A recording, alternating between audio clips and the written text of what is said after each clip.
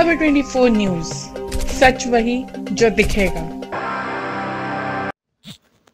विश्व पर्यावरण दिवस एवं गुरु पूर्णिमा के अवसर पर अपर नगर आयुक्त ने चाश नगर निगम क्षेत्र के धर्मशाला चौक से गरगा पुल तक श्रमदान कर सफ़ाई अभियान चलाया।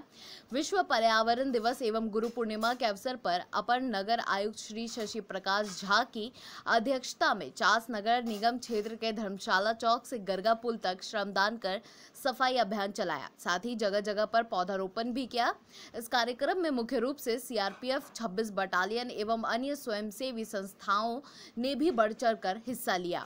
तथा अपने हाथों में झाड़ू थाम कर कचड़े को साफ़ करते हुए दिखाई दिए तो उनके साथ सामाजिक संगठनों के लोगों ने भी इस अभियान में सफ़ाई की गई। अपर नगर आयुक्त शशि प्रकाश झा ने बताया कि पर्यावरण को बचाने के लिए पेड़ लगाना ज़रूरी है।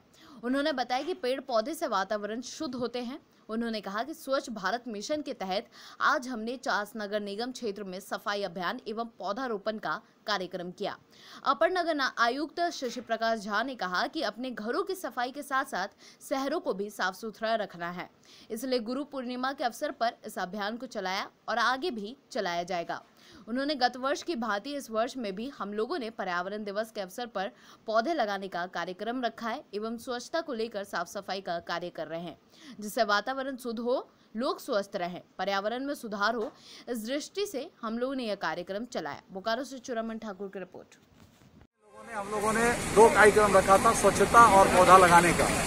और आज हम लोग वहाँ वर्षगांठ भी मनाएँगे, जहाँ हम लोग एक साल पहले मियावाकी पद्धति से पौधा लगाए थे, जिसमें कि ग्रोथ भी मैक्सिमम होता है और सबसे कम केयर करने की आवश्यकता होती है और कम से कम पानी में अधिक से अधिक पौधे कम स्थल पे लगाने के लिए ये जाना जाता है मियावाकी पद्धति और उस जगह पे हम लोग जाके आज वार्षिक उसकी पहली वर्षगांठ मनाएँगे।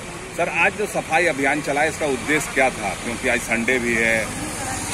आज पाँच जुलाई है पर्यावरण दिवस है और पर्यावरण को बचाने के लिए जितना ही पौधा लगाना ज़रूरी है उतना ही हमारे आसपास स्वच्छता ज़रूरी है और इसलिए स्वच्छ भारत मिशन के तहत हम लोगों ने आज दोनों कार्य एक साथ किया। किसका किसका सहयोग मिला? इसमें हमको सबसे अधिक सीआरपीएफ बटालियन उसके बाद एनएससी विद्यार्थी और जो हमारे निगम के सभी कर्मी हैं, उन लोगों के द्वारा ये सहयोग मिला